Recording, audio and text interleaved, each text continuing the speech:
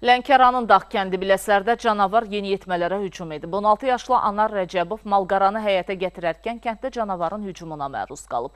Yırtıcı yeniyetmənin sol bud nayihəsini dişləyib. Rəcəbov əlindəki mobil telefonla yırtıcının başına bir neçə zərbə indirib. Yeniyetmə qaçaraq yaxınlıqdakı həyətlərdən birinə girib. Canavar məktəbdən evə qaydan 8-ci sinif şagirdi Xalid Abdullayevə də hücum edərək xəsarət yetirib. Yaralılar Lənkəran rayon mərkəzi xəstəxanasına çatdırılıblar. Onlara təbii ki, zəruri tibbi yardımlar edilib.